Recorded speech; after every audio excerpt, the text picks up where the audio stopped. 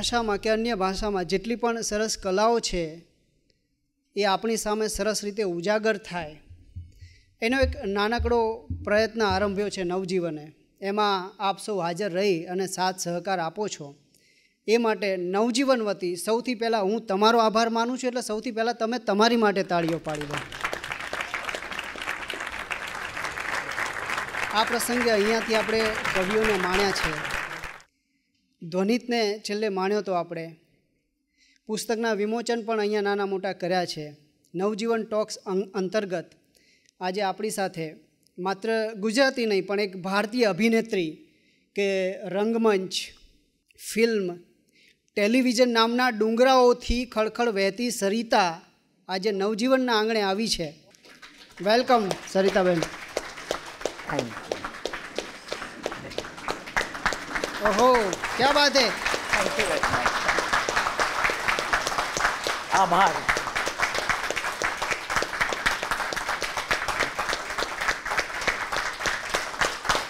આનંદ જય હો જય હો Enjoy. આજે આપને કઈ બોલવાનું છે સાહેબ હું આમ તો આપણે એમને અટકાવી દીધા એ જરા વધારે ના ના ના મારી એવી કોઈ હેસિયત જ નથી કે હું કંઈ બોલી શકું. ના ના આટલા મોટા અભિનેત્રી આટલા મોટા નહીં નહીં એવું નહીં ચાલે હેસિયત નથી ને. પેલા બોલી ગયા ને પછી કે છે હવે હેસિયત જ નથી. નો નો બોલો. તો આજે બોલો. બોલો બે મિનિટ. છે. તમારા અભિનયની અભિનય નદીનું અમૃત જળ અમારે કાનથી પીવાનું છે બેન. આટલા અઘરા શબ્દો બોલી રહ્યા છે. આમાંનું હું કંઈ આવું અઘરું નહીં બોલી શકું હા. અમદાવાદ છે સાહેબ ભાષાનું અહીંયા તો તો બસ આમ તો બીજું કંઈ નથી બોલતો પણ પૂરા આદર સાથે પૂરા વિવેક સાથે સરિતાબેન જોશીને વંદન કરું છું અને આવો અને તમારી અભિનય નદીના અમૃત જળથી અમને પાવન કરો. અને નવજીવનના શ્રોતાઓ આપ શ્રીના શ્રોતાઓથી આ બધું રડિયાત કરો. અમે પવિત્ર થઈશું. Thank you Anil. મને હવે તમારે ઓલ ધ બેસ્ટ તો કેવું પડશે? અમારે ત્યાં એવી પ્રથા છે કે હું બહુ વખત પછી સ્ટેજ પર ઊભી છું. એટલે પ્લીઝ નહીં ને હાથ મેળાવો એવું નહીં ચાલે. થેન્ક યુ વેરી મચ નમસ્કાર. અમદાવાદની યાદો સંસ્મરણો નોસ્ટેલજિયા છે મારા માટે.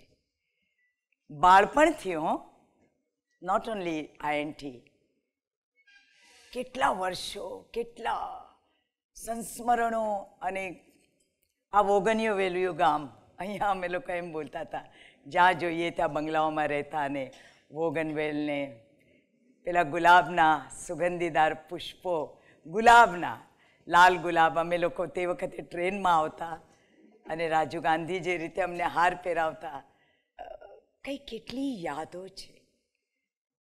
અને મને કોણ જાણે નોસ્ટેલજિયા ગમે છે. ઘણા લોકો કહે કે નહીં ને હવે શું પાસ્ટ મને પાસ્ટ સાંભળવું, યાદ કરવું, તમારી સમક્ષ એના વિશે બોલવું. કારણ કે મારી પાસે તો જે છે તે એ જ ભંડોળ છે. થિયેટરનું એક્ટિંગનું મારા બચપણની યાદો ઓફકોર્સ પ્રવીણ જોશી. હવે એને હું યાદ ન કરું તો પછી ચાલે જ કે મારું જીવન કેમ નીકળે આગ તકતા પર. એવું છે. નાનપણથી જ ઘણા લોકો મને આમ જ્યારે મારો કોન્ટેક્ટ કરવામાં આવ્યો, બે ત્રણ વાર રામ મોરી, પહેલાં તમારા બધાનો ખૂબ ખૂબ નવજીવન ટ્રસ્ટનો હું આભાર માનું છું. મને તમે અમદાવાદમાં બોલાવી. આ તક આપી છે મારા પ્રેક્ષકો સાથે વાત કરવાની. પ્રિય પ્રેક્ષક મને પ્રવીણે આ શબ્દ આપ્યો હતો. એટલે અત્યારે હું તમારા માટે મારો વાલો પ્રિય પ્રેક્ષક. એમની સાથે વાતો કરવાનો સમય આપો છો. મારી એક્ટિંગ વિશે, મારા વિશે. આજકાલ હું મિડ ડેમાં પણ થોડું લખું છું, મંગળવારે હું લખી રહી છું. મારું હમણાં થિયેટર સાથેની સંકળાયેલી તમારી સમક્ષ હું વાતો કરીશ. પણ મિડ ડેમાં હું ઓટોબાયોગ્રાફી જેવું કશુંક લખી રહી છું, જેટલું મને યાદ આવે છે, જે મારી સાથે જીવનમાં થયું છે એટલે. તો સાહેબો, ચાલો આજે જરા આપણે એકબીજાના આનંદ વહેંચીએ તમે આ તમારો આનંદ મને આપજો, મારો આનંદ હું તમને આપીશ. અને હું જરા સ્વાર્થી છું. મારા પ્રિય પ્રેક્ષક થકી મને બહુ આનંદ મળે છે. હું જીવી રહી છું ફક્ત ફક્ત તમારા પ્રેક્ષકના પ્રેમ સાથે.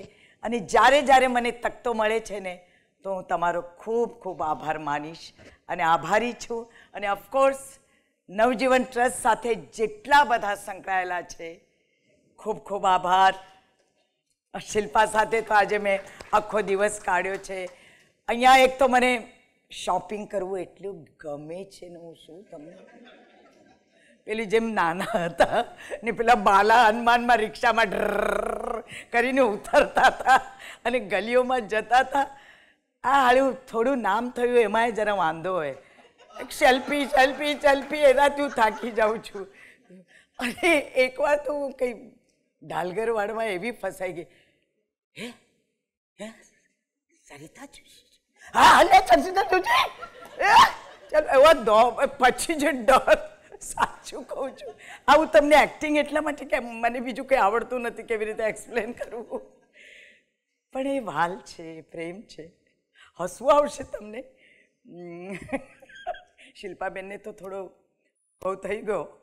પણ તમને ખબર છે, આપણે ચટાઈ લઈએ છીએ તો પેલી નાયલોનની ચટીઓ, ચટાઈ મને ફાવતી નથી. તો હું જ્યારે, આજકાલ તો એટલું જમીન પર એક્સરસાઇઝ કરતી નથી.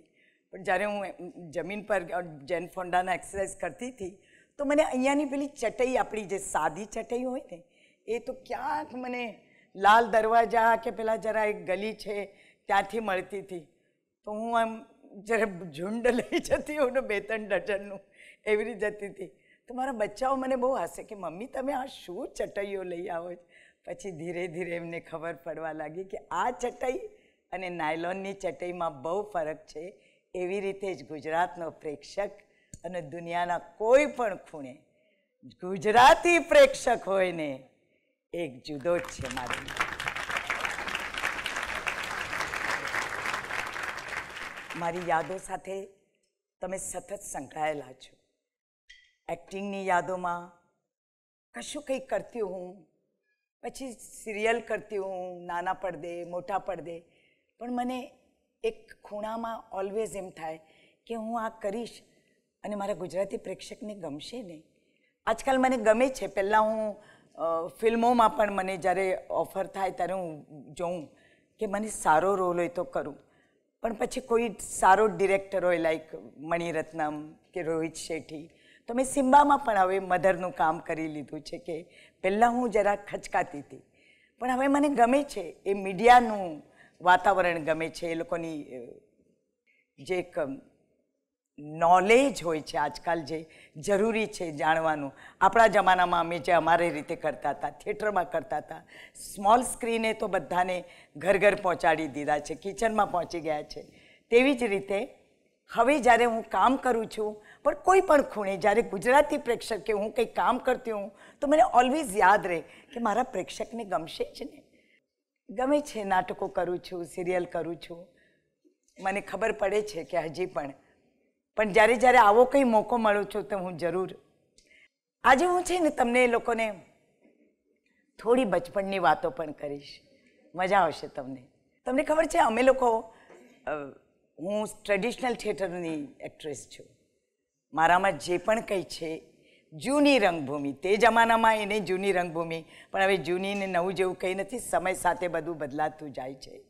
તો અમે લોકો બાળપણમાં સ્તુતિ કરતા હતા. સ્તુતિ. જેમ હમણાં હું આંગિકમ ભુવનમ વસ્ય આમ જે આપણે કરીએ છીએ, અને એ જમાનાની સ્તુતિ પડદા પાછળ થાય, એટલે પડદા પાછળ.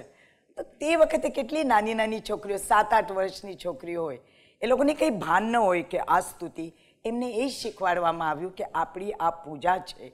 આપણે જે તખ્તા પર કામ કરીએ છીએ ત્યાં આપણે રંગ દેવતા આપણને પ્રસન્ન થાય. રંગ દેવતા એટલે ત્રણ મેકઅપના લપેટા, એક સફેદ, લાલ ને પીળો. અને સાહેબ, અમને લોકોને જેમ પાણીમાં આમ લગાડીને, એ છોકરાઓ, ચાલો, પોતાને મેળે કરો. તો આપણે પણ જાણે નાનપણમાં આમ લગાડીને અવાજો કરીને, લિપસ્ટિકો લગાડીને, લટકણિયા અને ઘાઘરા પોલકા પહેરીને આમ સ્તુતિ માટે તૈયાર. આઠ દસ વર્ષની છોકરીઓ હું સ્તુતિની તે વખતની વાત કરું છું. અને સરસ્વતી લક્ષ્મીનો ફોટો હોય. અને છતાં આમ નાની નાની સાત, આઠ, એનાથી મોટી છોકરીઓ નહીં. આ બાજુથી દસ, બાર છોકરીઓ, આ બાજુથી જેટલી એ કંપનીમાં હોય અને સ્તુતિ કરવાની શરૂઆત કરે. તેમાં હું એ હતી.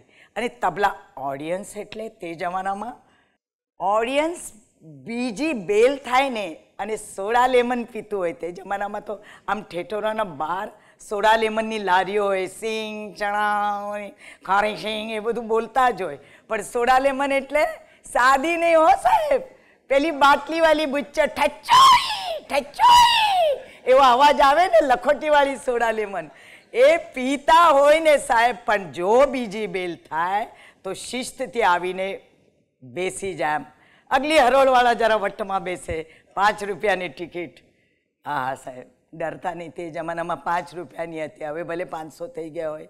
એ પરવડતું નથી થિયેટરવાળાને પણ પાંચ રૂપિયાની ટિકિટમાં તો, અને અગલી હરોળમાં પેલી તે વખતે એ જમાનામાં ફરની ટોપીઓ પહેરતા હતા, ખબર છે?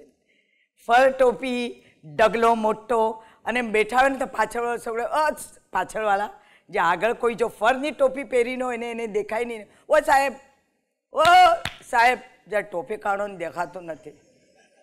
દેખાતું નથી કરીને શરૂ થઈ જાય પેલી ફરની ટોપી. એટલે તરત એની બૈરી, મેં તમને ના પાડી હતી.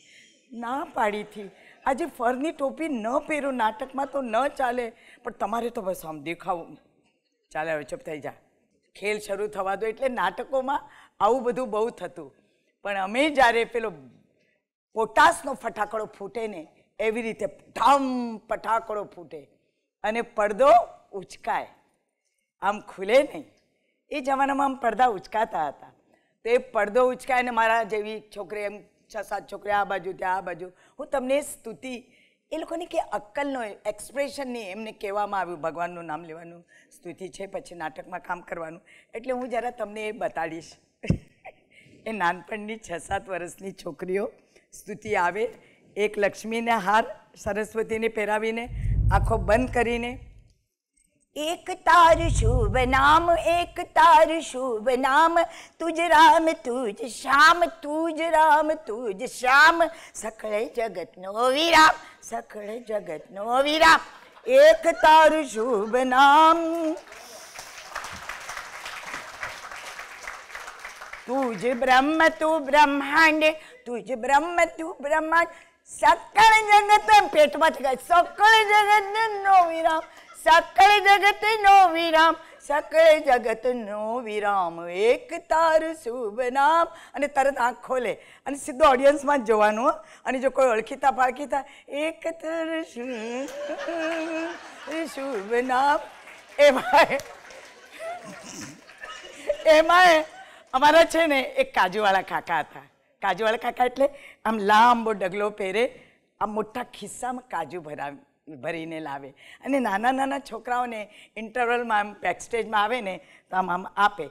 પણ જો ભૂલે ચૂકે જો તે દિવસે કાજુવાળા કાકા આવ્યા ને મારા જેવી કોઈ જોઈ જાય તારું શું? કાજુ. અને તરત અહીંયા જેમ પેલું વાયરલ ફરી જાય ને કાજુ કાકા, ક્યાં, ત્યાં ટકી જીરોમાં કાજુ કાકા કાજુ કાકા, આમ ફરી જાય. અને કટ્ટુ બધી છોકરીઓ સીધું કાજુવાળા એક તારું શિવ નામ, એક તારું શિવ. એને જ પગે પડે બીજું ઓડિયન્સ આ એટલી સ્મીટ સ્વીટ સ્મરણો જેને કહેવાય ને કે આનંદ આપે હું એ સ્તુતિમાં તે વખતે જે મેં રંગભૂમિને જોઈ, જે રીતે મેં માણી, જે શીખી હું શ્વાસોશ્વાસ, કઈ રીતે સંવાદો બોલવા, ગીતો ગાવ, અત્યારે મારો એટલો અવાજ સારો નથી, પણ છતાં હું તે જમાનાના તમને, કેમ કે એ મારો મનગમતી વસ્તુઓ છે, જે મને ક્યાં હવે કરવા મળે, જૂની રંગભૂમિની એ વાતો. પ્રવીણને બહુ જ ગમતા હતા આ બધા ગીતો. અને અમે બધા જ્યારે કવિઓ ને આ બધા બેસે, લાભશંકર ઠાકર અહીંયાના, ખૂબ બધી આદિલ મંસૂરી ને અમે બધા સાથે બેસતા હતા જ્યારે મુંબઈમાં એ મારા ઘરે આવતા નેપેન્સી રોડના. ત્યારે હું આ ગાતી હતી, ત્યાં વહુરાણી એક નાટક. હવે એમાં કેવું કે તમે એક ફેમિલી છે, એક વર અને કન્યા, એક છોકરો ને છોકરી. ગામડામાં એના એની માને લગ્ન કરવાના હતા, પણ એને એક અનાથ આશ્રમની છોકરી સાથે પ્રેમ થઈ જાય છે. એટલે એની માને કહે છે કે બહુ સુશીલ, સંસ્કારી અને સારી છોકરી છે. પણ ઓફકોર્સ તે જમાનામાં તમે એમ કોઈ કહો કે એક અનાથ આશ્રમની છોકરી, તો કોઈ પણ માં ના પાડે. એ નાટકનું નામ હતું વહુરાણીને, એને ઘર લીધું છે. ઘર લીધું છે. એક રૂમને કીધું, ઉત્સવ છે. એટલે બધા મહેમાનો આવે. અરે, મારી વહુરાણી તો આમ ને તેમ ને એનું નામ ઉષા. તો ઉષા એકદમ કોયલડી જેવી છે, કોયલડી. તો એને બિલકુલ ગમે. તમે શું મને કોયલ બોલ્યા કરો છો બધાની સામે? તો મને કોયલ તો બહુ મીઠી હોય છે. પછી મહેમાનો ચાલી જાય તો મને બિલકુલ ગમ્યું નથી. એ વળી શું? તમે બધાની સામે મારી કોયલડી કોયલડી કોયલડી કરતા હતા. તો વાંધો શું છે? હવે એ જમાનામાં એવું હોય કે જેવું આવા બધા સીન હોય ને, એટલે ગીત શરૂ થઈ જાય. એટલે ગીતમાં જ આખી સ્ટોરી હોય. પ્રેમીઓને. અરે કોયલ તો કેટલી મીઠી ન, કોયલ નહીં કહેવાની. અને તરત તબલું શરૂ પેટી શરૂ અને ગીત શરૂ. કોયલ કેશોમાં કોયલ કેશોમાં, કા? કોયલ કેશોમાં કોયલ કેશોમાં, કા? કોયલ કાળી હું રૂપાળી, કોયલ કેશોમાં. કોયલ કાળી હું રૂપાળી, કોયલ કેશોમાં, કા? કોયલ કેશોમાં. કોયલ કેશોમાં કોયલ કેશોમાં અરે આંબલિયા ડાળે ડોલે પુરુષ પુરુષ ગાય હા આંબલિયા ડાળે ડોલે મીઠું એ કોયલ બોલે આંબલિયા ડાળે ડોલે મીઠું એ કોયલ બોલે બોલીને ચિતડા ચોરે કોઈના કાળજડા કોરે બોલીને ચિતડા ચોરે કોઈના કાળજડા કોરે ભૂલે ચૂકે મને કોયલ કે સોના કા કા કા કા. ભૂલે ચૂકે મને કોયલ કે સોના કા. કોયલ કે સોમાં કોયલ કે. અચ્છા અચ્છા, તું એ બોલ. મારે કોયલ ના કેવી, ત્યારે શું ઉપમા દેવી? પુરુષ છે ને, એટલે જરા અભિનય કરું છું. મારે કોયલ ના કેવી, ત્યારે શું ઉપમા દેવી? સમજ્યું ને, કઈ જાજુ કેવું? પ્રેમીને તો કઈ ઉપમા દેવી? સમજ્યું ને જાજુ કેવું? પ્રેમીને ઉપમા દેવી, જાઓ જાઓ એવી કોયલ કેશોમાં. એટલે આ બધા ગીતો તો હોય જ. અને એમાં બ્યુટી એ હતી કે એ જમાનામાં ગીતો સાથે છપ્પાઓ હોય. નાટકના સંવાદોમાં ઓલવેઝ જેમ એક કન્યા છે, કુલીન કન્યા સપોઝ અને એના લગ્ન થવાના છે, ભણેલી ગણેલી છે. પણ એને જ્યારે એમ કહેવામાં આવે કે તને કોઈ છોકરો જોવામાં જોવા આવવાનો છે, એમની ફેમિલી આવવાની છે, તો જરા એ એને બહુ દાજ ચડતી હતી. હવે એ જમાનામાં સ્ત્રી પ્રધાન નાટકો બહુ થતા હતા. ત્યારે એક કન્યા જેમ ચા લઈ આવે, એમને નાસ્તો કરે અને પછી એના સંવાદોમાં છપ્પા હોય. જોઈ લીધી મને? સરસ, જોઈ લેજો, હા. આંખ છે આંખ છે, નાક છે. આંખ છે, આ નાક છે, આ કાન છે, આ હોઠ છે, બત્રીસ પૂરા દાંત વચ્ચે જીભનું પણ સ્થાન છે. બોલો સાહેબો આ કન્યા તમને પસંદ છે? આ શબ્દોની બ્યુટી હતી, એનો ફોર્સ. જ્યારે તમે નાટક કરો કે કંઈ પણ કરો, ત્યારે શબ્દો એનું વજન આવવું જોઈએ. એટલે હું જ્યારે નાનપણમાં આ બધા પાત્રો જોતી હતી એટલે મને ઓલવેઝ એમ થતું કે આ કેટલું સરસ રીતે રાણી પ્રેમલતા ખાસ કરીને એમને એમના શબ્દો પર વજન મૂકવાની કદાચ હું જે રીતે નાટકોમાં મેં મારી જાતને ડેવલપ કરી, જે મેં થોડા સંવાદો બોલવાની, તમે જેમ મને કહો છો કે હું સારી અભિનેત્રી છું, તો ક્યાંક એ લોકોનો પણ ફાળો છે એ હું માનું છું. તો આવો એક છપ્પો તમને સાંભળ્યો તો તમને કેવું લાગ્યું? જેમ સંયુક્તા પણ સીધાઓ સીધાઓ મારા સરના સરતાજ એ પૃથ્વીરાજને જ્યારે લડાઈમાં જાય છે છ મહિના સુધી કંઈ જતો નથી ને પછી જયચંદ ચડાવીને આપણી આ હિસ્ટ્રી છે, જે બી છે માઇથોલોજી તો એમાં પણ એક એવો સંવાદ. સીધાઓ સીધાઓ મારા સરના સરતાજ જેવા રમ્યા છો રંગ, એવા જંગ પણ જમાવજો શોભાવજો કીર્તિ બનીને વીર હિન્દુસ્તાનની, સોંપ્યું તમારે આશરે તકદીર હિન્દુસ્તાનનું. એટલે હાથના જસ્ટર આવા બોલવાનું. પણ એક ગરીબ કન્યા એ શબ્દોનો વજન અને તમારી વાર્તા જે પણ નાટકની હોય ને, એ ગીતોમાં જ આવી જાય કે ગરીબ કન્યા છે, એક છોકરાના પ્રેમમાં પડે ને છોકરો બહુ મોટા ઘરનો છોકરો હોય છે, પછી એને દગો આપીને ચાલી જાય છે અને એને ઘરમાંથી ગામવાળા કાઢી નાખે છે અને પછી એક અનાથ આશ્રમમાં એક સોશિયલ વર્કર એને લઈ આવે છે. પછી કે છે એ પેલી સમગ્ર પુરુષ જાતને ધિક્કારે છે, ત્યારે એ કહે છે કે એવું નથી. હું તારી સાથે લગ્ન કરવા તૈયાર છું. કરીને એ વાત કરે છે, ત્યારે એ ગીત સાંભળજો અને કઈ રીતે? જરા લાઉડ એક્ટિંગ હતી તે જમાનામાં, તમને ખબર હોય તો. હાથના જસ્ચર અત્યારે પણ જો થોડી તો મને ટેવ છે. પણ વાત કરું ત્યારે. પણ જ્યારે હું પરફોર્મ કરું છું સ્ક્રીન પર કે ટીવીમાં કે સ્ટેજ પર, ત્યારે અમે બોડી લેંગ્વેજ અમારી પોતાની સાચવીને કરીએ છીએ. તો હું તમને આ ગીતની એક જૂની રંગભૂમિના પાત્રો કેવી રીતે ગીતોમાં અભિનય કરતા, એક સ્ત્રી અને પુરુષ, જે પેલો સોશિયલ વર્કર છે અને જે એક ગરીબ કન્યા, જે પુરુષ જાતને ધિક્કારે છે. તો હું તમને મજા આવે છે ને? જોરથી બોલો ને. કેમ કે મને મજા આવી રહી છે. સરિતાને શોષનારા સાગર બધા છે ખારા સરિતાને શોષનારા સાગર બધા છે ખારા પુરુષ ખારા છતાં હંસીને હૈયે શમાવનારા ખારા છતાં હસીને હૈયે શમાવનારા વિશાળ છે ઉદરને વિશાળ છે કિના શબ્દો પર વજન અને હાથના જશરામ મોટા વિશાળ છે ઉદરને, વિશાળ છે કિનારા. પાપીના પાપ ધોતા, પાપીના પાપ ધોતા, આ સાગર બધા છે જ્ઞારા સરિતાને શોષનારા, સાગર બધા છે ખારા. ફૂલની સુગંધ લૂટી, ભવરા ઉડી જનારા.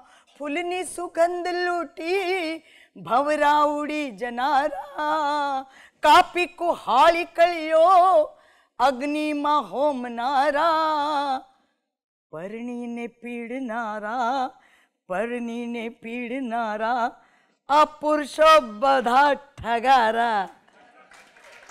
આવી રીતે જ ગા બોલે. અને એમાં એ લોકો વંશમોલ આપે એટલે પાછું સેમ એક્ટિંગ પરણીને પીડનારા આ પુરુષો બધા ઠગારા. એટલે આ જૂની રંગભૂમિની એક જે પણ કહો રીત હતી, પણ એમાં જે સાતત્ય હતું, એની વાર્તાઓ, એમાંથી હું ઘણું શીખી. કનૈયાલાલ મુનશી, જ્યારે મેં કલા કેન્દ્ર જોઈન્ટ કર્યું પહેલી વાર મુંબઈ આવીને, એને આપણે નવી રંગભૂમિ કહીએ તો પણ, એમની પાટણની પ્રભુતા પછી બળવંતની બેબીમાં મને ભવાઈ શીખવાનો મોકો મળ્યો. તો એ બળવંતની બેબીમાં મેં જે ભવાઈ શીખી, એના પછી નવી જ રંગભૂમિ ઉપર એક મંગળફેરા નાટક આવેલું. મંગળફેરા નાટક આવેલું. એમાં એવી વાર્તા હતી કે નાનપણમાં એ છોકરીના લગ્ન થઈ ગયા છે અને જ્યારે મોટી થાય છે ત્યારે પેલો જે છોકરો હોય છે એને નાટક કંપની શરૂ કરી દીધી છે. એટલે એ કંઈ એ છોકરીને સ્વીકારવા તૈયાર તો એને જોઈ પણ નથી, એટલે આવીને એની માને કહી દે છે કે નહીં ને હું એને કંઈ જાણતો નથી. પાપા, તમે મારા લગ્ન કર્યા છે, એટલે હું કંઈ એને સ્વીકારવો નથી. અને એનો બાપ આવીને એ છોકરીને માને કહે છે કે, ભાઈ સોરી પણ શું થાય? નાનપણમાં લગ્ન થાય, પણ હવે મારો છોકરો જ ના પાડે છે. તો હું તમારી કન્યાને લઈને મારે ઘરમાં શું કરું? અને પછી એ છોકરીને ખબર પડે છે ને મુંબઈ આવે છે કે, નહીં, હું એની જઈશ, હું એને મળીશ. કેમ કે મારા લગ્ન થયા છે ને કેવી રીતે એ મારી સાથે એ કરે? આ નાટકમાં વાર્તા હોય. પણ જ્યારે હું પાત્ર બનીને આવતી ત્યારે ગામડાની ભાષા. એટલે એ લોકોના નાટકના રિહર્સલ ચાલતા હોય. એટલે એ આવે છે તો અંદરથી પેલી ગામડાને એકદમ ભાષા એને કંઈ ખબર નથી. પણ જેમ તેમ એડ્રેસ પકડીને એના છોકરા પાસે આવે છે. યા, મારે નાટકમાં કામ કરવું છે. કંઈ ભીખ નથી માગતી, પેલા દરબારને લડે છે. એટલે અંદર જેવી આવી જાય છે કોણ છે ભાઈ એવી રીતે, કેવી રીતે આવી ગયા? અરે મારે નાટકમાં કામ કરવું છે. એટલે પેલો છોકરો આવે છે. એ પોતે હીરો બની ગયો છે, ડિરેક્ટર બની ગયો છે. એટલે એને જોઈને, હાય હાય, એ તો એવા ને એવા છે. નાનપણમાં જેવા જોયા હતા એવા? હા મારો ફોટો એ છે ને મારી કને. કોણ છો બેન? તમે? ઓ મને બૂન ના કહેતા. મને ભગરી ભેંસ કહો, કાળી ભેંસ કહો, બકરી કહો, પણ મને બૂન ના કહેતા. અરે, એ તો કેટલો સારો શબ્દ છે બેન. ના!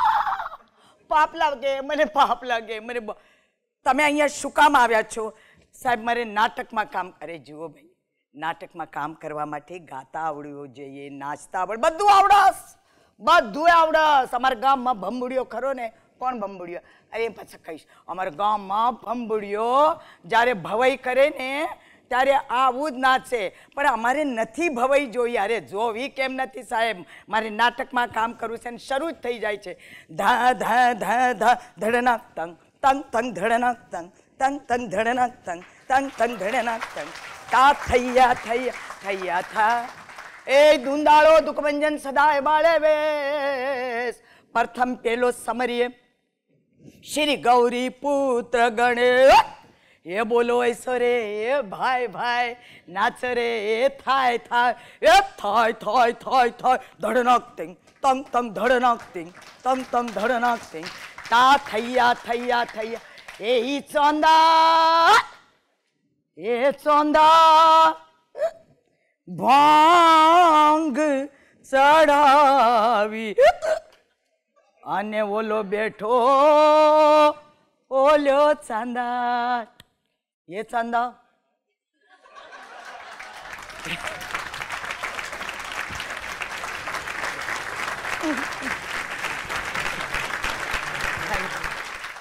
હે ચાંદા હે ચાંદા તારે મારે નહીં બને, હે સાધુ તારા નહીં બને, તારે મારે નહીં બને, હે સાધુ તારા નહીં બને. ધા તતર તતર ધા તતર તતર ધા તતર હે ચાર ભાઈ કી જોડી હમ, હમ, હમ.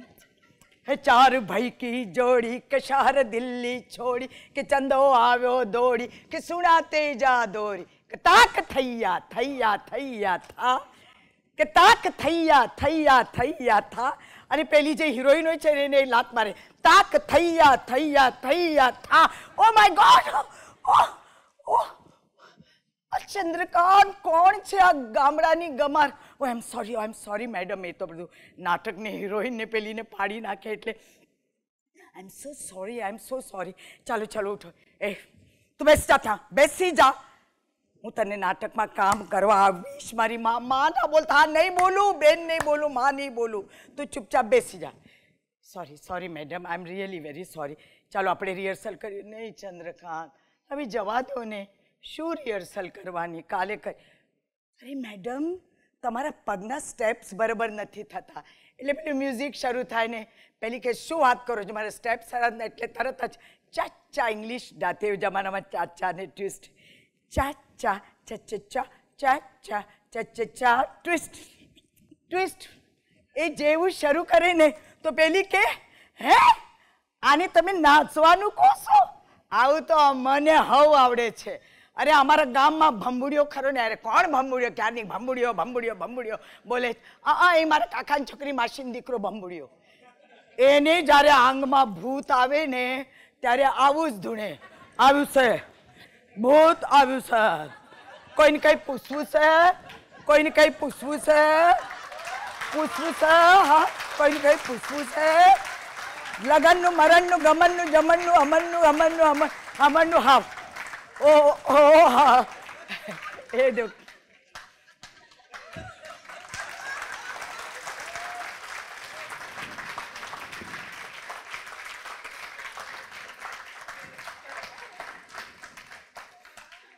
એટલે આ તમને આશ્ચર્ય થશે, પણ આ નાટકમાં તે વખતે હું જૂની રંગભૂમિ પર કામ કરતી હતી ને ઓફકોર્સ હું બહુ પ્રોફેશનલ એક્ટ્રેસ હતી, એટલે હું પૈસો પણ ખૂબ સારો લેતી હતી. એટલે સંસ્થા હોય, આ બધી સંસ્થા હોય, એમાં એવું હોય કે ઇન્ડિયન નેશનલ થિયેટર એ એના એક પોતાનો એક બંધારણ હોય કે આટલા જ કલાકારોને પૈસા મળે, આટલા જ મળે. અને પ્રવીણ જોશીની મારી ઓળખાણ થઈ. એટલે મેં કહું, એક સરસ નાટક છે સરિતા, તમે અમારા ત્યાં કામ કરશો તો. એટલે મને જરા, મેં કહ્યું કે હા તમે લોકો શું કેટલા પૈસા આપો છો? તો એણે જે પૈસા કાયમ હું થતરી ગઈ અચ્છા. એટલે અમારા ત્યાં બેકસ્ટેજ વર્કરને એ જમાનામાં ત્રીસ રૂપિયા મળતા હતા. ઓફકોર્સ હું સિક્સટી ફોરની વાત કરું છું. પણ એનો એટલો ડિફરન્સ હતો કે ક્યાં પાંચસો, છસો કે સાડા ત્રણસો, પાંચસો ને હજાર સુધી હોય જૂની રંગભૂમિ પર જ્યારે અમે કામ કરતા હતા ત્યારે. અને આ લોકો સંસ્થા. એટલે નેચરલી એક સંસ્થાની પોતાની એક લિમિટેશન્સ હોય. પણ કોણ જાણે કઈ? પ્રવીણ જોશીએ મને એટલી બધી રિક્વેસ્ટ કરી કે આમાં તમારી જરૂર છે સરિતા, તમે જુઓ તો ખરો તમને મજા આવશે. અને જેમ કનૈયાલાલ મુનશીના ત્યાં મેં બળવંતની બેબી કરી. અને મને બળવંતની બેબીમાં પહેલો, એમ તો મને મેડલ મગનલાલ ડ્રેસવાળાનો સોનાનો મેડલ બેસ્ટ એક્ટ્રેસ તરીકે મળેલો.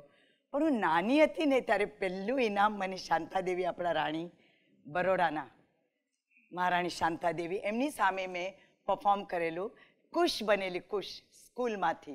અને ભારત કી એક સન્નારી કી હમ કથા સુનાતે હે, હમ કથા સુનાતે હે. શિવ ધનુષ રામને તોડા मिला चंद्र चकोर का जोड़ा अवधपुरी से तोड़ा नाता जनकपुरी से जोड़ा कोमल थी वो कली सुखों में पली बहुत દુઃખ પાયા એક વાત હું તમને કહું ખરેખર ખબર નથી આ શબ્દોમાં શું તાકાત છે હું હજી પણ આ ઉંમરે જ્યારે પણ એકલી બેસીને પણ ગાતી હું અને આ વાક્ય આવે ને, કોમલથી કલી, સુખો મેં પલી, બહોત દુઃખ પાયા. મને આગળ જવાતું જ નથી. આઈ ડોન્ટ નો તે વખતે કદાચ સમજણ નહીં હોય. હું જ્યારે ખુશ બની ત્યારે મારી શું ઉંમર હશે? હું આઠ વર્ષની ઉંમરે તો હું નાટકમાં બાળ કલાકાર તરીકે ખૂબ નામના મેળવી ચૂકી હતી. કારણ કે હું ગાતી હતી સરસ. અશરફ ખાન છે, શાંતા આપટે છે. આ બધી ફિલ્મની એક્ટ્રેસીસ સાથે મેં બાળપણમાં કામ કર્યું છે. એટલે મને ગાવાની થોડી સ્વરમાં થોડી હું ગાઈ શકું છું. અત્યારે પણ સંતુ રંગીલીમાં પણ હું જ, મારા બધા સ સ સ સ સ સ, આ બધા હું જ ગાતી હતી મારા ગીતો. અને અત્યારે પણ મને ગાવાનો ઘણો શોખ છે, એટલે તમારા થકી એ પૂરું કરું છું. ના ના, પણ ખરેખર મજા આવી ગઈ છે. તો આ હું વાત કરતી હતી કે મારાથી આ ગવાતું જ નથી. એવી જ રીતે જ્યારે મેં પ્રવીણ સાથે કામ કર્યું, એ પૈસા, એ પ્રોફેશનલિઝમ ધીરે ધીરે મારામાંથી નીકળી જ ગયું. એની જે કામ કરવાની પદ્ધતિ, એનું જે નિખાર ધ વે એ જે એક્ટ્રેસને જો તમારામાં કાંઈ પણ ઓછપ હોય તો એને કેવી રીતે કાઢવી? પ્રવીણ જોશી જેવો ડિરેક્ટર મેં નથી જોયો ખરેખર. મારા માટે હું વાત મારી કરું છું, કારણ કે અત્યારે હું જે પણ છું, તમારા મનમાં તો હું સંતુ તરીકે જીવિત છું ને. અમારી મારી કેટલી એજ થઈ? નહીં કહું. તમે કેટલા વર્ષથી મને જુઓ છો? એટલે યા સત્યાવીસી તો નહીં, એટલા ઈશ્વર તમને મને આશીર્વાદ મળી ગયો. એંસી વર્ષ બરાબર છે. પણ જો સાહેબ, હું સત્યાસી વર્ષમાં રહીને તો તમારે રહેવાનું છે. ને આપણે બે મળીને પાછા જલસા, ટેસડા. તો એમનું કામ સપ્તપદી નાટક. તમને ખબર છે ને, તારક મહેતાએ લખેલું. તારક મહેતા તો પાછા અમદાવાદના. એ મને કે, સરિતા તારે નાગરાણી બનવું છે. નાગરાણી અહીંયા કોઈ આવ્યું છે નાગરાણી? અમને કે છે, એ તો લગ્નની પહેલે જ દિવસે વરને આમ ખિસ્સામાં મૂકી દે. આવી રીતે, એવી રીતે. તારકભાઈ તો યુ નો તારકભાઈ. અને મને કહે છે કે તું કોઈ દિવસ અમદાવાદની પોળો ફર, જરા જો તો તને ખબર પડશે કે એક્ઝેક્ટલી નાગરાણી એટલે શું. તમે શું? એકવાર હું બાલા હનુમાન ઉતરતી હતી અને પેલી ગલીઓ અને પાછળ એટલી સરસ તો તે દિવસે એક સરસ રૂપાળી એકદમ બેન હતા ગુજરાતી ગાય ગાય ગાય ગાય મીઠી રોટલી ખાય ખાય. વોઝ રિયલી શોક કે મીઠી રોટલી એટલે પછી ખબર પડી પૂરણપોળી ગાય ગાય તો મને તો એટલું ગમ્યું. એટલે ગાય ગાય મીઠી રોટલી ખાય. એક જ રોટલી હોય, એમાં ચાર પાંચ જો ગાય આવી ગઈ તો. અમદાવાદ છે ભાઈ. એટલે તારકભાઈ આવી બધી ખૂબ ખૂબ વાતો મને કરતા હતા. અને એમાંથી હું એ એટલું બધું શીખી પણ અહીંયા કવિતા, અહીંયા સૌંદર્ય, એક મીઠાશ. અમે જ્યારે જ્યારે આઈએનટીમાં નાટકો લઈને આવતા હતા, તમને ખબર છે અમદાવાદની એક મોટી મીઠાશ શું છે? મને કેમ અમદાવાદ હું બોલું છું, મારું પિયર છે. વડોદરા મારું શહેર, ભણી છું ત્યાં. જન્મ મારો પૂનામાં થયો છે, પણ હું વડોદરામાં ભણી છું, જે પણ થોડું ભણી છું. પણ અમદાવાદમાં અમદાવાદમાં પ્રવીણ ઓલવેઝ જોશી, પ્રવીણ જોશી, એક નાટક ઓપન કરે. એક નવું નાટક અહીંયા જ ઓપન થાય. પછી સપ્તપદી મેં જ્યારે એમની સાથે કામ કરવાનું શરૂ કર્યું, તો સપ્તપદી, ધુમ્મસ, પછી વૈશાખી કોયલ મોઘરાના સાપ અને એના પછી સંતુ રંગીલી પણ અહીંયા જ. એટલે અમદાવાદમાં એટલે અમને રિહર્સલોની ટેવને અખાડામાં જઈએ તો સપ્તપદી નાગરોનું નાટક. અને એ જમાનાનું, જ્યારે ફિફ્ટી ફોરમાં લગ્ન થતા હતા, જેને આપણે પ્રેમ લગ્ન નહીં લગ્ન પ્રેમ કહેતા હતા, કે લગ્ન પછી પ્રેમ થઈ જાય. એવી રીતે તે જમાનામાં વર બૈરા ખૂબ શરમાળ, જોયા હોય ક્યારેક ક્યાંક કશેક અને આ પાછો લેખક, જેની સાથે એના લગ્ન થાય છે ટુ એક્ટર્સ પ્લે હતો. હું અને પ્રવીણ એમાં કામ કરતા હતા. નાગર કુટુંબ એ લેખક અને આ છોકરી એ પરણીને લાવે છે. એ સપ્તપદીનું એક સીન તમારી સમક્ષ રજૂ કરું છું. હું અને પ્રવીણ એ ઘરમાં એને આવકારે છે. હાર સાથે એ પેલી જરાક માથે ઓળેલું છે ઘૂમ. અને પછી આપણા ગણપતિ ને આ બધા એમના જે વડવાઓના ફોટા હોય એની સામે વહુને લઈ આવે છે ને કે આવો સૌ પ્રથમ શ્રી ગણેશને વંદન. એ તો રિદ્ધિ સિદ્ધિના દેવ. અને આ મારા દાદાજી, ચંદ્રશંકર, રાયગઢના મોટા દિવાન હતા. અને આ આ મારા માતુશ્રી તથા પિતાશ્રીના લગ્નના સમયની છબી.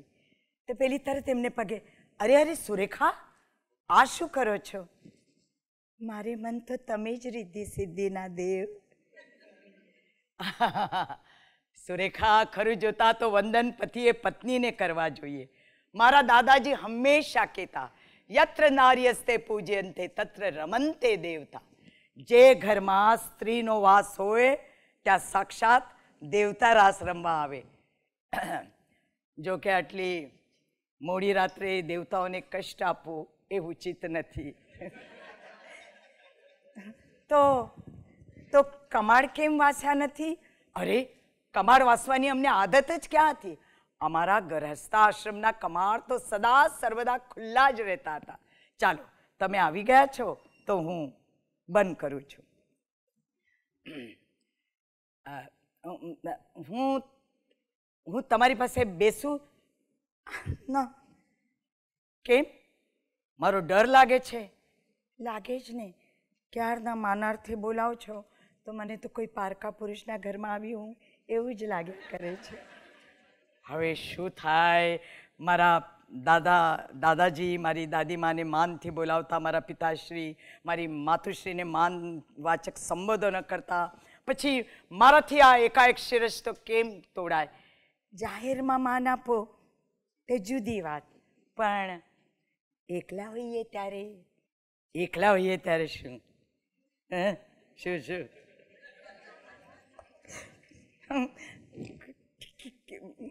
એ મારે મારે તમને વાત કહેવી છે? કોને ના. કાનમાં કેવી છે? કહો તો અમારા કામ પવિત્ર થશે દેવી. આવો, કહો. એટલે પેલી ઉઠે, ઊભી થાય છે પલંગ પરથી અને એની બાજુમાં આવીને હમ બેસે છે. આ શું? શું? તમારું કાન કેટલો ગંદો છે? હે? વર્ષમાં કેટલી વાર સ્નાન કરો છો? ત્રણસો પાસઠ દિવસ નાહું છું? વેટ ઉતારું છું.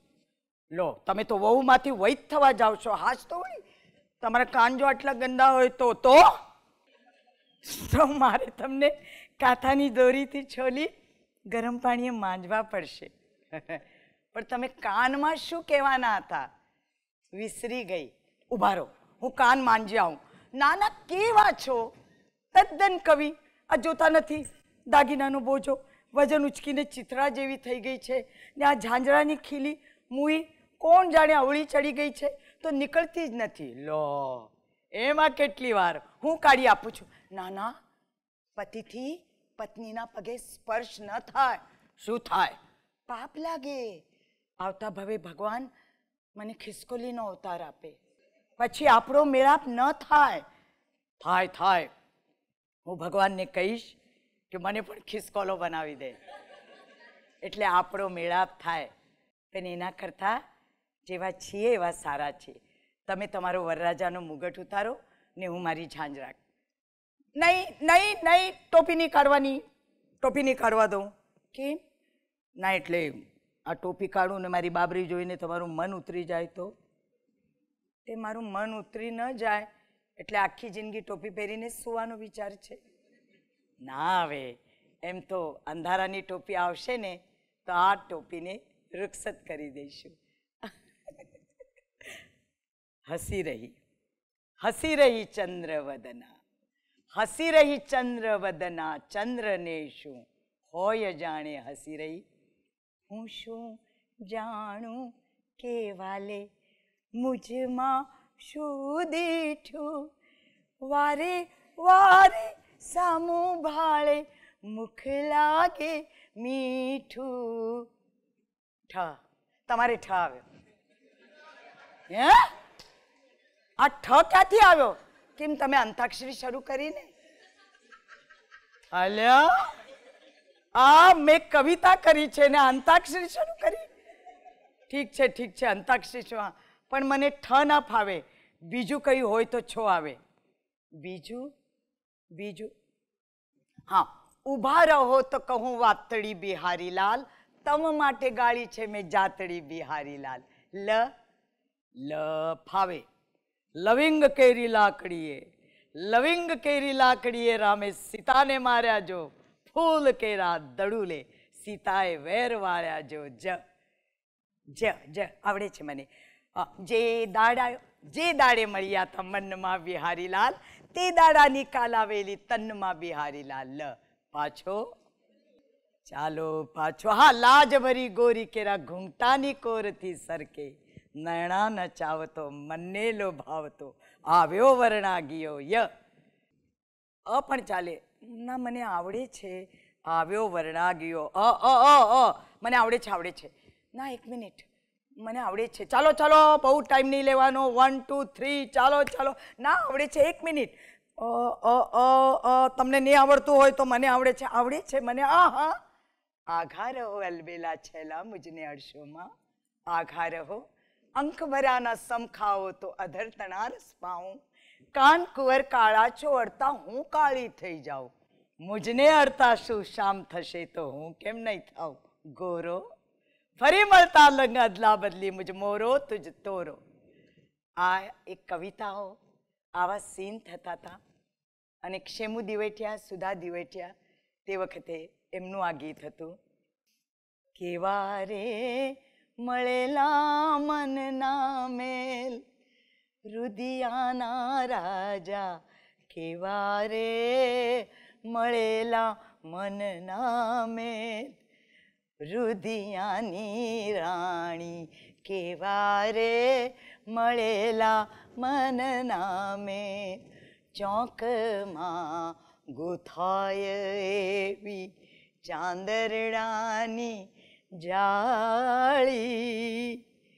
માંડવે વિટાએ નાગરવેલ રુધિયાના બ્યુટિફુલ ઇટ્સ રિયલી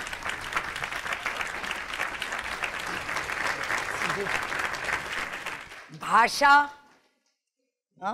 ભાષા એની મજા છે. ઘણીવાર કવિતાઓ તમને, તમે કહો તો સાચું વાલમ, તમે કહો તો હારા. આમાં જ હતું સપ્તપદીમાં શ્રાવણના ફાગણના જલને ઝીલી લ્યો અણધાર્યા. તમને એમ હતું કે અમને વેણીના ફૂલો સંગાતે પ્રીતે ગૂંથી લઈશું. પણ તમને એવી જીત કે વનનો છોડ થઈને રહીશું. તમને કંઈક થવાના કોડને અમને વાલી લાગે સોડ. જરક તમારા સ્પર્શ અમે તો સાથે સ્વર ઝંકાર્યા. કવિતાની બહુ એક એક હું તમને કહું કે ગુજરાતી રંગભૂમિ ઉપર પણ સંગીત મળ્યું નાટક. એટલે એમાં કવિતા તો આવે જ. કવિતા એમાં હોય જ.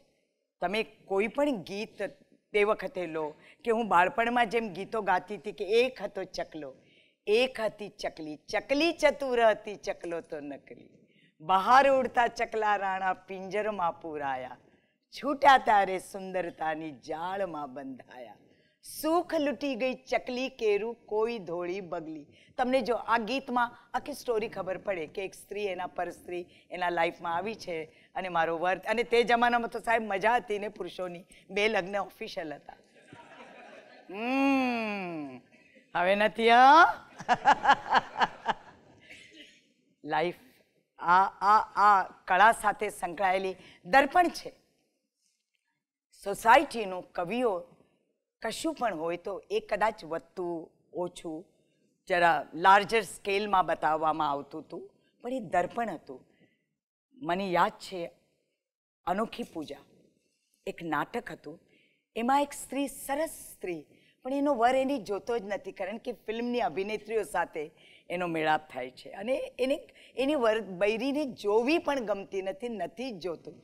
ત્યારે એ નિશ્ચય કરે છે કે મારે એ લાઈનમાં જવું જોઈએ. અને પેલી જેમ ચોપડીઓ ખોલતા ખોલતા આ ચિત્રો, પાને પાને સિનેમા નટીઓના ચિત્રો. મારા પણ આવા જ ચિત્રો ભેગા થશે. હું એ દુનિયાની આતુરતાનું કારણ બની જઈશ.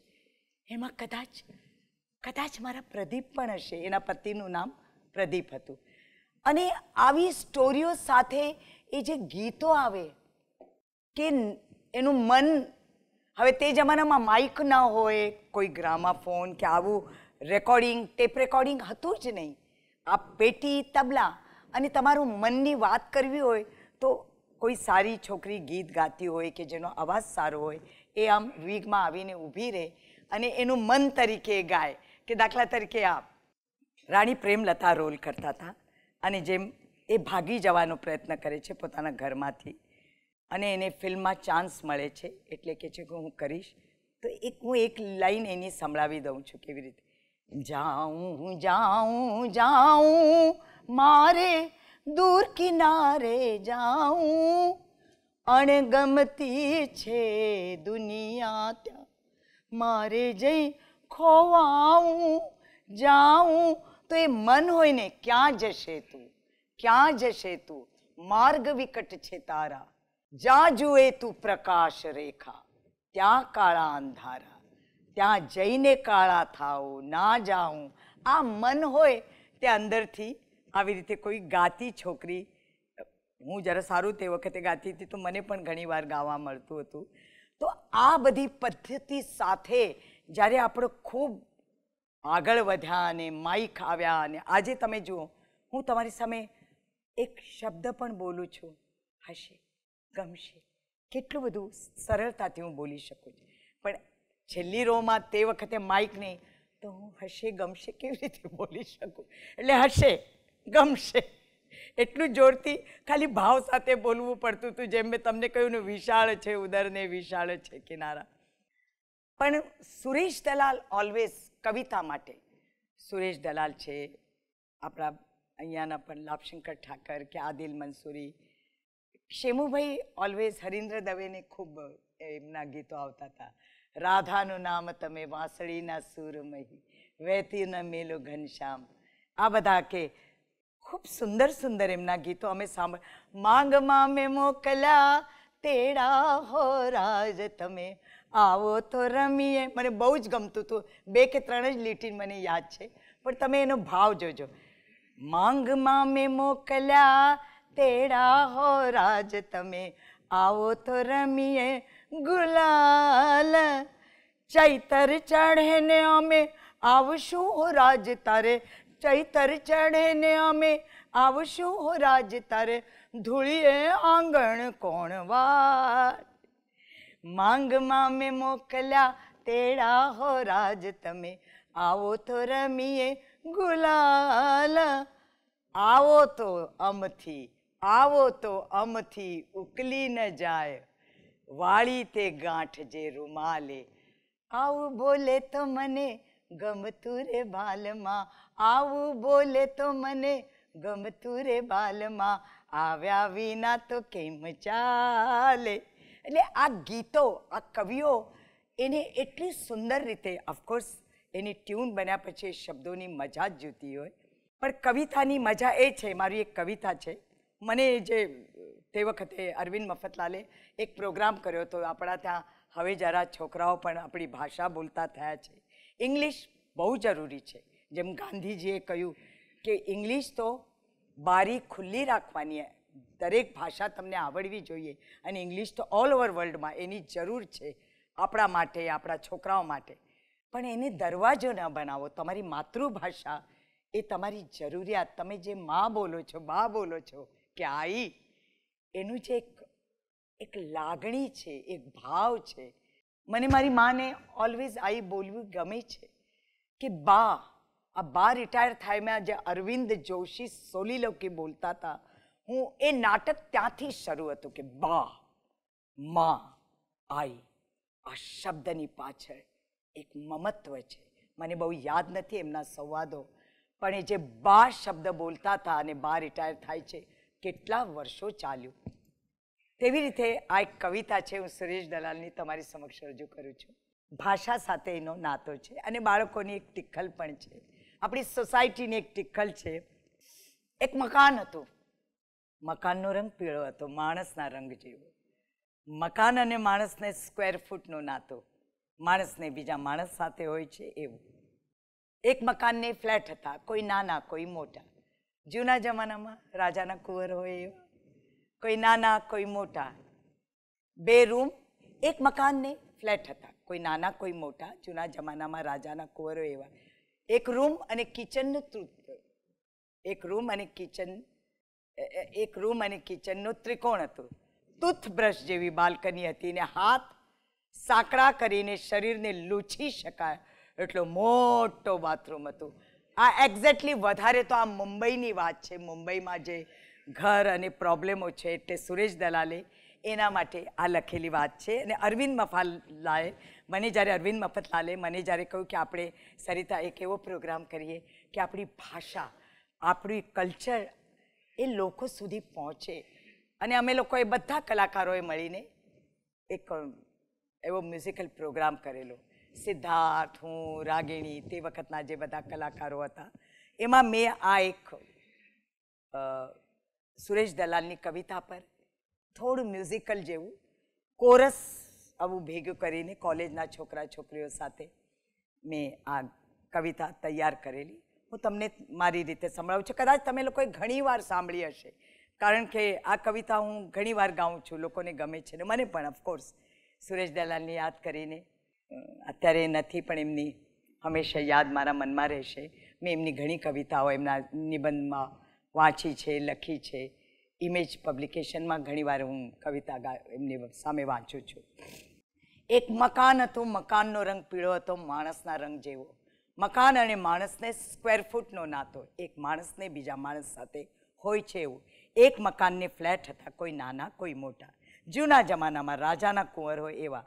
બે રૂમ અને કિચનનો ત્રિકોણ હતો. તૂતબસ જેવી બાલ્કની હતી ને હાથ સાંકડા કરીને શરીર લૂછી શકો એટલો મોટો બાથરૂમ હતો. એ બાથરૂમ ભયો ભયો, કે ભયો ભયો જીયો જીયો કે ભાઈ જીયો જીયો એક મકાન હતું. મકાનનો રંગ પીળો હતો રે ભાઈ, પીળો હતો. એક ફ્લેટમાં એક બાબો હતો.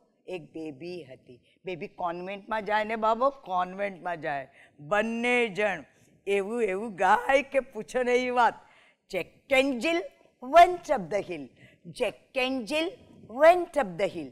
Hickory dickory dock રાત ને દિવસ ભાઈ જો કમ જોક, ભાઈ જો કમ જોક રામાયણનો પાઠ તો અંગ્રેજીમાં વાંચે રામાયણનો પાઠ તો અંગ્રેજીમાં વાંચે ને બોલે Rama lived in forest.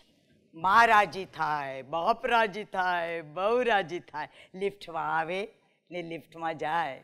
લિફ્ટમાં આવે ને લિફ્ટમાં જાય.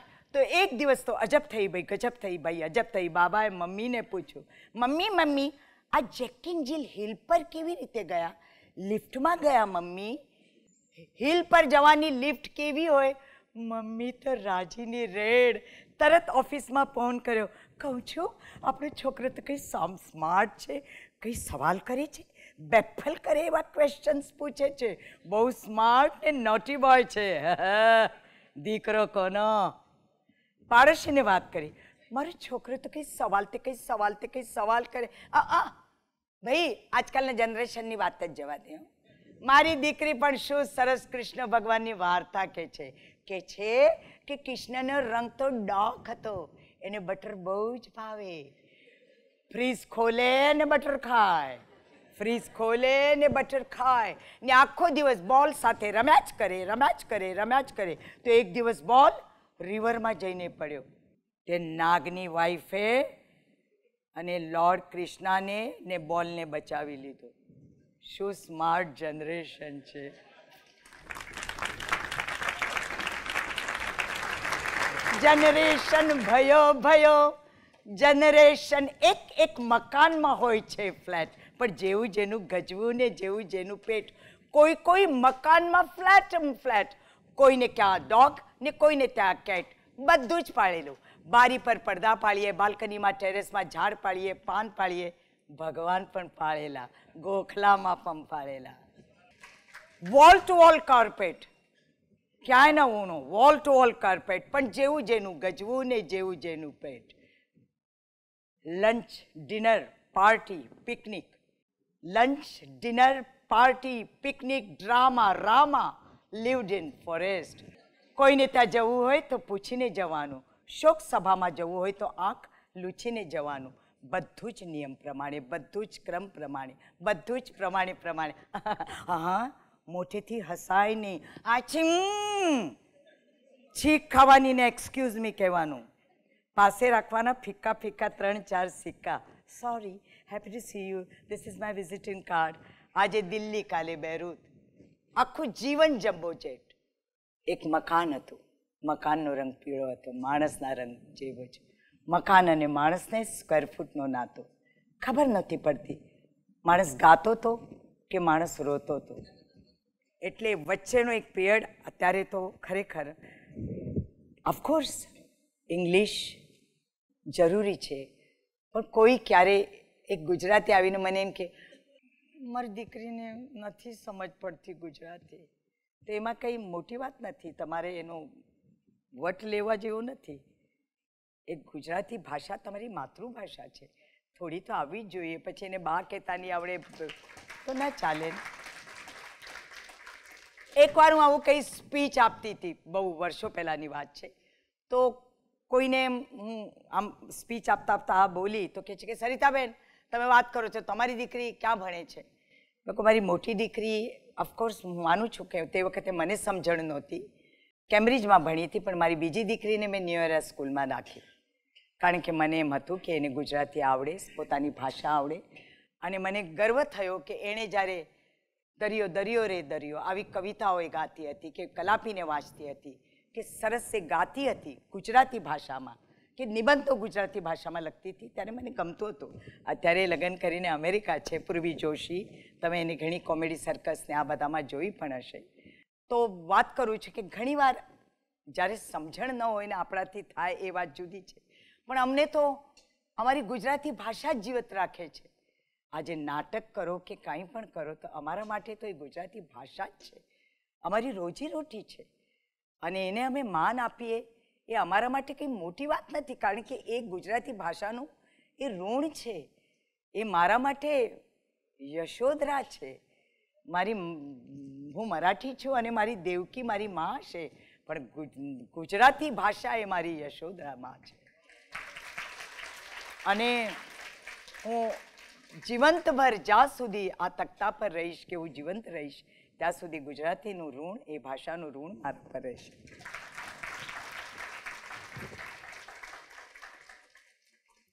ભાષાની વાત નીકળી છે તો ઓફકોર્સ સંતુ રંગીલી. હે ને? એક ભાષાનું જ નાટક હતું કે એ જામ ખંભાળિયાની ભાષા, જ્યારે મધુરાએ આ બર્નાડ શો, એ જમાનામાં બર્નાડ શોએ પિગ્મેલિયન લખેલું નાટક.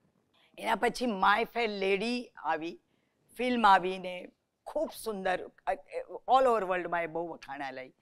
અને દરેક ભાષામાં સંતુ રંગીલી, પણ આપણી ભાષામાં દિલીપ કુમાર જ્યારે જોવા આવ્યા, બધા જ જોવા આવતા હતા. એ જમાનામાં આઈન્ટીના નાટકો, યશ ચોપરા છે, જેમણે ધુમ્મસ પરથી તફાક બનાવ્યું, પ્રવીણના નાટક પરથી.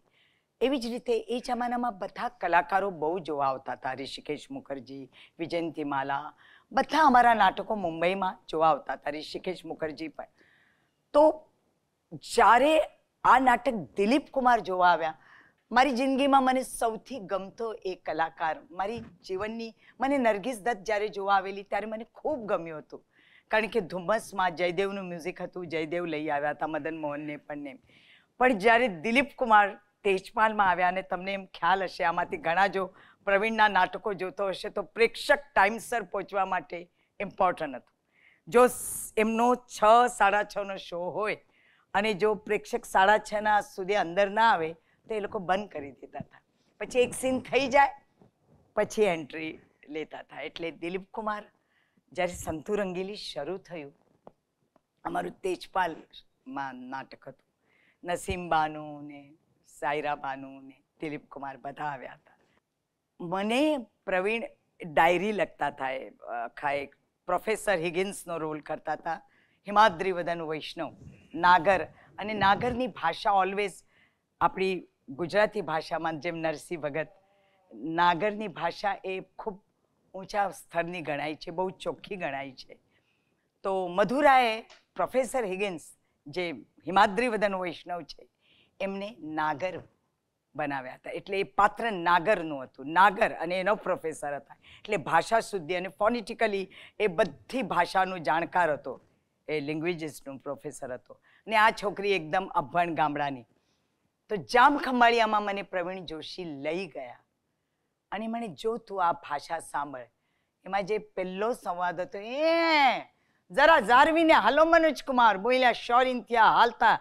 મારું ફૂલનો ઘાણ કાઢી નાખો, એનું કહીને હું આંધ્રા હું એ ગાળો ને એ બધું આપે. એટલે એ જે નાકમાંથી બોલવાનું, એ ભાષાને એટલી જોરથી ચીજ અને મને થોડો કોઈ અવાજ સંભળાયો જ્યારે મારી એન્ટ્રીના બે મિનિટ. દિલીપ કુમાર આવ્યા હતા, પણ આપણો પ્રેક્ષક, એ લોકોને આ માન થયું કે ક્યાં વાત હે? દિલીપ કુમાર આવ્યો છે. સંતુ રંગીલી જોવા, એ ઊભા રહ્યા. એ બારનું એમને ખોરાક આખે એક રિસ્પેક્ટ આપેલી પ્રવીણે કહ્યું, દિલીપ કુમાર આવે. તો અહીંયાથી એમને આ બાજુથી એ શફી ઇનામદારને આ બધા એમના આસિસ્ટન્ટ હતા. એમને કહ્યું ને, એ ખૂણામાં ઊભા રહ્યા. પણ એ જે એક અવાજની કોઈ વાત નહીં, કોઈ વાત નહીં, મેં અહીંયા ખડા રહેતા હું ચલે ગયો શફી. એમ એમનો અવાજ મને ત્યાં થિયેટરમાંથી હું વિગમાં હતી, મારી એન્ટ્રી હતી અને ઊભો થયો. હું શું કહું? મેં કહ્યું, આજે સરિતા, આજે દિલીપને બતાડી દઉં. સાચું કહું. એક એક બાળક વૃત્તિ, એક એક ગર્વ, એક કલાકારનો પોતાનો એક સંતોષ કે હું આ થિયેટરમાં અત્યારે હું હું છું, હું સંતુ રંગીલી. એક અનુભૂતિ હોય છે દરેક કલાકારને હોવી પણ જોઈએ. અશરફ ખાન જ્યારે આવીને પૃથ્વીપતિનું માથું પરમેશ્વર શિવા કોઈ સામે નમ્યું નથી ને નમશે પણ આ ઓડિયન્સ બોલતું કારણ કે એ એની એની એની તાકાત હતી. આજે હું કંઈ પણ કરું છું, કદાચ હું બહુ સારું નથી હમણાં કરતી, પણ તમને હું એ જ સારી લાગીશ. કારણ કે તમને હું ગમતી કલાકાર છું છું ને ભાઈ? સો આ એક એક પ્રેમ હોય છે એકબીજાનો. એટલે તો પ્રિય પ્રેક્ષક બની જાય છે. એ વ્યક્તિનું. આજે દિલીપ કુમાર પાછળ આપણે કેટલા ગાંડા છીએ. હજી એ એ તે વખતની સ્ત્રીઓ હોય કે અત્યારની કે તે જનરેશન શાહરૂખ ખાનનું પણ, એ દરેકે દરેક એક્ટર એકવાર તો દિલીપ કુમારને યાદ કરશે એના ઇમોશનલ સીન કે એનું. એટલે મને બહુ ગમતો એક્ટર હતો અને મને બહુ ત્યારે મેં આ શબ્દ વાપર્યો. અને મારી જે એન્ટ્રી મેં લીધેલી ફૂલ ફેંકવાના અને એ જરા જાળવીને હાલો મનોજ કુમાર બોલ્યા શોરીન થયા હાલતા. મારા ફૂલનો ઘાણ કાઢી એનું કઈ નહીં, હું આંધ્રા અને પછી પેલી બાઈ, એ ફૂલવાળી, તને કેવી રીતે ખબર પડી કે મારા દીકરાનું નામ મનોજકુમાર? તી, તારો દીકરો જોઈને કેવું ધક્કો મારતો ગયો, ગરીબ માણસના પૈડા પર પાટું. લો, તમે દેશો આ ફૂલના પૈસા. મમ્મી, આપતી નહીં. ચૂપ રે લે લે લે આ, લે બે રૂપિયા. હવે બોલ, તને કેવું લે. તો આજકાલના સોરાઓને તો એવું જ કહેવાય ને, મનોજ કુમાર કા રાજેશ કુમાર કા દિલીપ કુમાર. બીજું હું કહીએ? લે, એટલું આમ મજા આવેલી. અને પછી શીખવા જાય છે કે અંગ્રેજીમાં પેલે એ ગાલાવેલી, થામા ગાલાવેલી ભાઈ તને ખબર છે શું તું પૈસા લઈને આવી છે? આ પ્રોફેસર કેટલો મોટો છે? અને પ્રવીણનું એક છે. જ્યારે આ ધ્વજ પ્રકાશ છે, એ બહુ બડબડ બડબડ બડબડ કરે છે ત્યારે એ એ છોકરી શું કરી રહી છે? ક્યારની બક બક બક બક કરે છે, કેવી તોછડીને ગંદી ભાષા બોલે છે. તને ખબર છે? આ ભાષા કઈ ભાષા છે? ધ્વજ પ્રકાશ છે જળ કસુંબી પ્રેમ શૌર્ય અંકિત. તો ભણાવ ભણાવ નિજ સંતતિ સૌને પ્રેમ ભક્તિની રીત. ઓચી તુજ સુંદર જાત, જય જય કરવી ગુજરાત. આ ભાષા ને આ ભાષાને તું કેટલી ગંદી ને હલકટ રીતે બોલે છે. અને પછી શરત મારે છે કે સાહેબ, છ મહિના હું આના પર હું કામ કરું ને, છ મહિના જો આ છોકરી પર હું કામ કરું ને, તો એને મંડન મિશ્રની પત્ની જેવી ભાષા બોલતી કરી દઉં અરે કઈ નહીં, તો કોઈ ફૂલવાળીના ત્યાં નોકરી કરતી થઈ જાય આયા છે નર્સ અને પેલી એકદમ છે હે? નર્સની નોકરી મને મળી જાય? એટલે એ ત્યાં પહોંચી જાય છે એના ઘરે. કે સાહેબ, મને ભણાવો ને. તો પેલી એની નોકરાણી કે છે, એ, તને ખબર છે આ પ્રોફેસર સાહેબની ફી કેટલી છે? એ, ગાલાવેલી થામા, ગાલાવેલી બાઈ. આ મને બધી ખબર છે. અમારા ગામમાં અંગ્રેજી ભણવા જાય છે ને છોરી, તો મહિનાના પંદર રૂપિયા આપે છે. અને તારે તો મને ખાલી ગુજરાતી ભણાવવાની. મહિને દસ દઈશ. કેટલા? મહિને દસ. દસ. સરસ. અને એવું બધું આ જરા સંતુરંગી તે વખતે જોયું તો મને થોડું યાદ આવે છે એટલે બોલું. તો હું એ બિચારી ભણે છે કે આ શ્રાવણ નીતરો ને લખોટીઓ ને ગોળી અને છ મહિના ખૂબ ખૂબ ખૂબ મહેનત કરે છે. પણ આ જરા પ્રોફેસર એની કેરેક્ટર એવી બતાડી છે, થોડી તોછડો. જરા ગમે તેવી રીતે બોલતો ભેંસ છે ને અક્કલ વગરની છે ને ગધેડી છે. તો એકવાર જ્યારે એ કવિતા બોલતી હોય છે, અને ત્યાં સામે ચાલ સંતુ સરસ, હવે બોલજો આ કવિતા. આ શ્રાવણ નિતરો સરવડે આ શ્રાવણ નિતરો સરવડે કોઈ ઝીલોજી કોઈ ઝીલોજી પેલા રેલી ચાલ્યા રૂપ હો કોઈ ઝીલોજી કોઈ ઝીલોજી આ નથી ટપકતા નેવલા કોઈ ઝીલોજી કોઈ ઝીલોજી આ નર્દમ વરસે ને હો કોઈ ઝીલોજી કોઈ ઝીલોજી આ લટ લહેરાતી આ લટ લહેરાતી ટુડુંગ ટુડુંગ હે શું આ લટ લહેરાતી લખેલું જ નથી સાહેબ. હે? શું બોલે છે? લટ લહેરાતી ટુડુંગ ટુડુંગ. તારો બાપ લખવા આવ્યો તો એમાં ટુડુંગ ટુડુંગ. ગમે તે બોલતી હોય છે, આ લટ લહેરાતી ટુડુંગ ટુડુંગ. ક્યાંથી આવા શબ્દો લઈ આવે છે? ડૉક્ટર સાહેબ, આ છોકરી ખરેખર અને હું શું કરું? આ લટ લહેરાતી લળી લળી. અને આ લેખ ચાર નીકળે લળી લળી લળી લળી બોલ્યા કરે છે? આ તો અમારા ગામમાં બધા લરી લરી બોલે છે. એટલે આ લટ લહેરાથી લરી લરી. તારા ગામને, આખા ગામને હું શીખવવા. આવું નથી બોલતી, જા, નથી બોલતી. ક્યારના મેં મેં મેં મેં કરતો હોય છે? ફૂફા શેર નથી બોલતી. દેવીબેન, આજે જરા મારું મગજ જાય છે. આ દેવીબેન, આ છોકરીને આજે રૂમમાં પૂરી દો આખો દિવસ ખાવાનું નહીં આપતા. એક પાણીનો છાંટોય નહીં આવતા. ના હાલતા ના અમે કઈ ભૂકા નથી રહી જતા. આજે ઢેબરા બનાવ્યા હતા. ખાશે પેલી ડેવડી ડબાડબ. તારો વારો આવશે, જોજે ને એક દી. તારો વારો આવશે. તેથી મારો ડંકો વાગશે.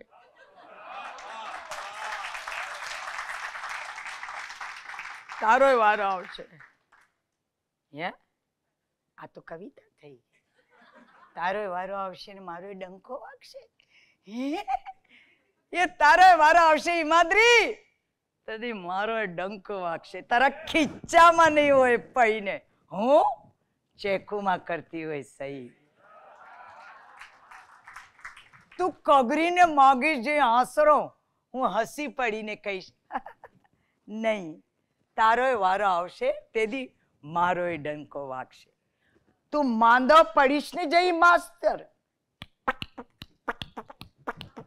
તું માંદો પડીશ ને જઈ માસ્તર. મને મોડે હશે બધા શાસ્ત્ર. શાસ્ત્ર ને શાસ્ત્ર શાસ્ત્ર દીપ ટાળવે ચોટાડવાની. શાસ્ત્ર શાસ્ત્ર શાસ્ત્ર. તું રાડું પાડીને રોઈશ. ઓ માં ઓ માં ને હું ફિલ્મમાં જઈશ બીજા શોમાં. તું જોઈ લેજે ને મારો ભપકો. હું બાયણેથી કહીશ, રોમા રોમા. તેથી મારો એ ડંકો વાગશે. રાજા રજવાડા ને મલ્લકના શેઠિયાઓ. રાજા રજવાડા ને મલ્લકના શેઠિયાઓ. મારી એ મુલાકાત માગશે. મારી એ મુલાકાત શું માગશે હા, માગશે માગશે. રાજા રજવાડા ને મલ્લકના શેઠિયાઓ મારી એ મુલાકાત માગશે હું એ? પહેરતી હોઈશ પોલકુને ઘાઘરીને આભલાની ચૂંદડી ને સોનાની સોંકરી. ગોટપીટ ગોટપીટ વાતો કરી છે વર્ષ શરાબ અને તું તું ડાચું ફાડીને જોતો રહી જઈશ, વાલા મુઆ આંખો ફાડીને જોતો રહી જઈશ, તેદી તેદી સંતુનો ડંકો વાગશે.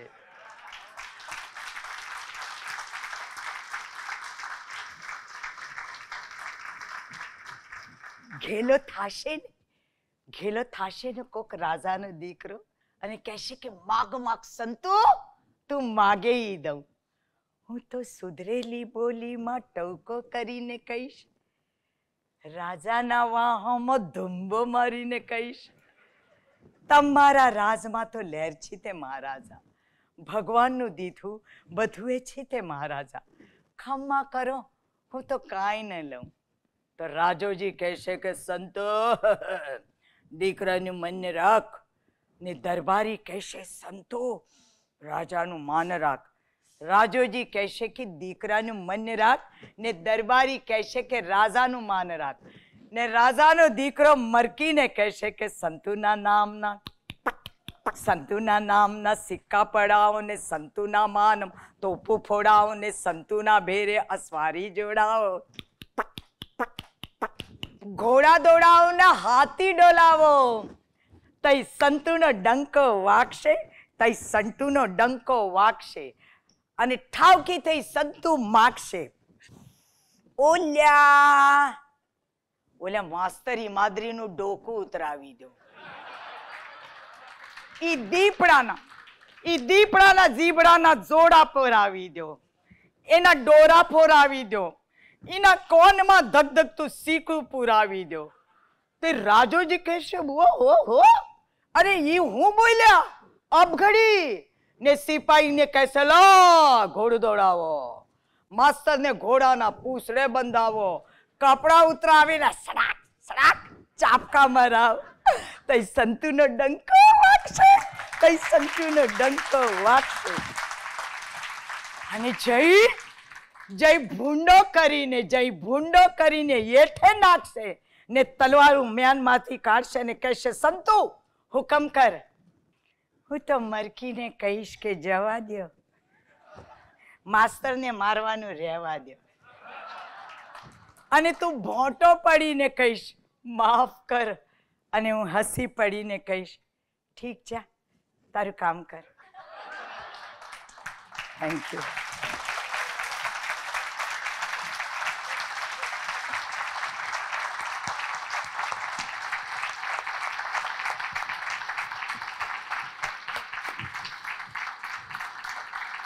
ખરેખર.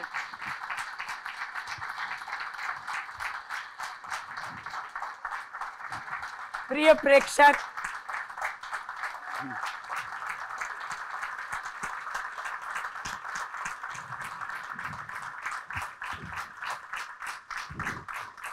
આજે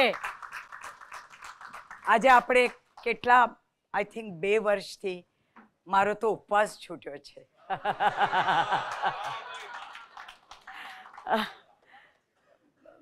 અભિનય આમ કરું કે થોડી વાતોમાં કરું, પણ અભિનય અભિનય છે. તમારી સાથે આટલો સુંદર સમય મને માણવા મળ્યો. હું એને માણવાનો એટલે શબ્દ ગાળવો નથી મારે.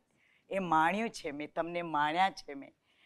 અને મારા જીવનનો એ સૌથી શ્રેષ્ઠ હંમેશા કોઈ પણ પ્રયોગ, પછી હજારમો પ્રયોગ હોય કે ગમે તે હોય. હું પ્રેક્ષકને જ્યારે આનંદ મળે એ જ મારો સૌથી સુંદર આનંદ હોય છે. તમારો ટાઈમ થઈ ગયો? નહીં, મારું થઈ ગયેલું, પણ મને સકુબાઈ હું એક નાટક કરું છું. હિન્દીમાં છે.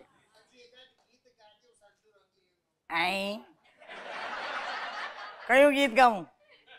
ગીત કઈ ગવાય બાપા સંતુ રંગીલીના ગીતો રાગ સ સ સ સ સ સ સ સ સ સ સ સ સ સંતુ રંગીલીનો સ સ આ તો સંતુ રંગીલીનો સસ વાલા મુયા તો સંતુ રંગીલીનો સ સ તમારી ઈચ્છાને માન આપીને આભાર આપ અહીંયા આવ્યા નવજીવનના આંગણે અને આટલા સરસ શ્રોતાઓને આપની કલાનો સરસ પરચો આપ્યો. આમ તો ડંકો વાગી ચૂક્યો છે ક્યારનો.